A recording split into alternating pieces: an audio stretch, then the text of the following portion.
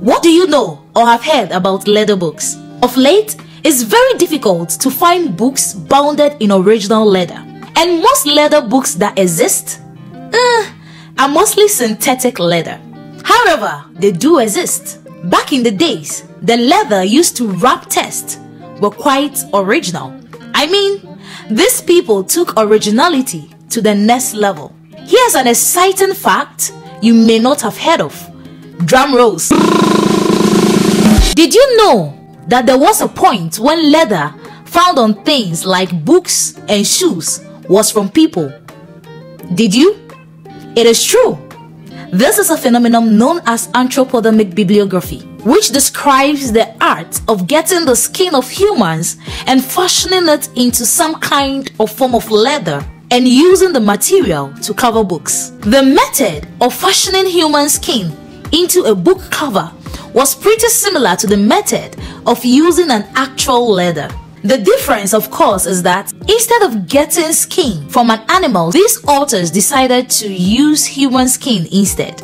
Allegedly, the books were usually made from the skin of executed convicts or criminals.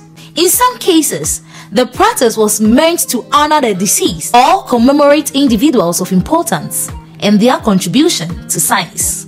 Not many books made of human skin are still in circulation today. However, there are some confirmed examples of books made of human skin. This includes Harvard University's library houses a book titled Practicarium Quaestionum Sicalex Regis Hispania of 1605, which is believed to be bound in human skin.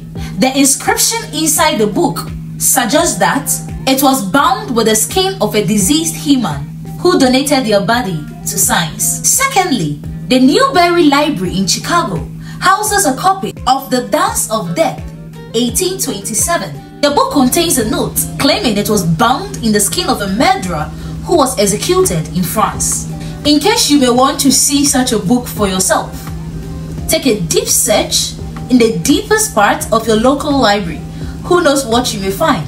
Just in case you are not following me, kindly do follow me because this may be the last time I may pop up on your screen if you don't. As usual, my name is.